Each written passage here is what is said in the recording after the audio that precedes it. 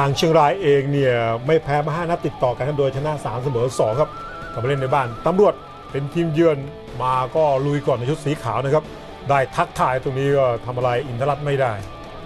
ตำรวจนี่นัดที่แล้วชนะปทรยองมา 1-0ดูจังหวะได้ยิงตรงนี้ก็ไม่มีอะไร ยัง 0-0 อยู่เริ่มต้นเกมเป็นตำรวจที่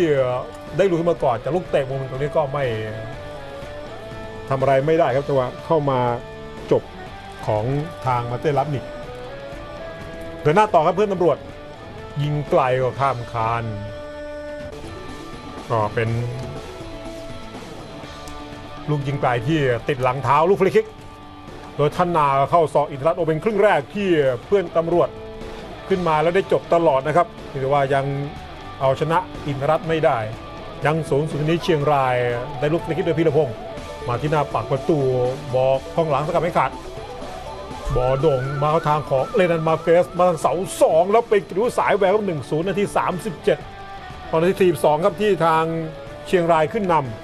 ำหายครึ่งแรกครับหลังจากที่ตั้งรับอยู่นานทำให้เชียงรายก็มาได้ประตูจากกองหลังของเพื่อนตำรวจสกัดกันไม่เด็ดขาดในจังหวะตรงนี้ที่บอไม่ไปไหนของมิเชลเมอร์ซี่ทำให้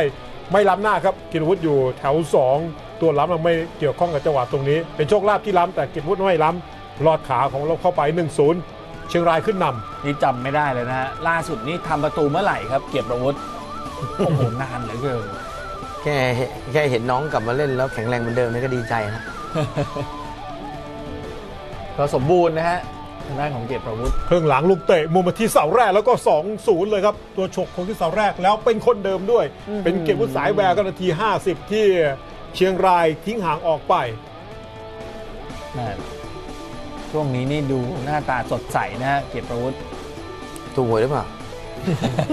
98แล้วฮะไม่คือคือถ้าฟอร์มแบบนี้นี่กองหลังไม่เคยยิงประตูบ่อยครั้งแล้วขึ้นมายิงได้สองประตูในเกมเดียวนี่ต้องถามว่าซื้อหวยหรือเปล่า ตัวฟอร์มร้อนแรงเหลือเกิน พอเสีย2ประตูเพื่อนตำรวจ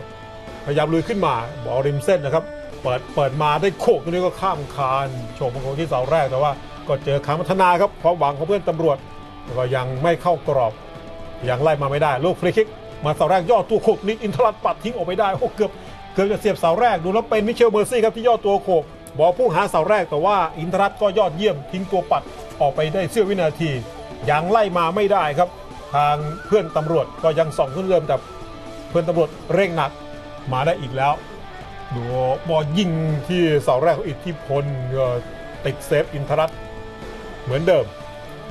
โอ้เซฟจนเจ็บเลยครับอินทรัตในครึ่งหลังทีนี้นานๆครึ่งหลังเชียงรายจะขึ้นมาสักครั้งครับบอลทางขวา แล้วก็จบเกมไปนะว่าเชียงรายทำได้เอาชนะเพื่อนตำรวจไปได้ 2 ประตูต่อศูนย์ให้เชียงรายชนะ 2 นัดติดต่อกันแล้วก็ 6 นัดล่าสุดยังไม่แพ้ใครโดยหน้า 4 เสมอ2แล้วครับ ชมสดสูงสุดถึง 10 คู่ต่อสัปดาห์ ในราคาเพียง 50 บาท หรือติดตามทีมโปรดของคุณทั้งฤดูกาลชมสดทุกแมชเพียง 590 บาทเท่านั้น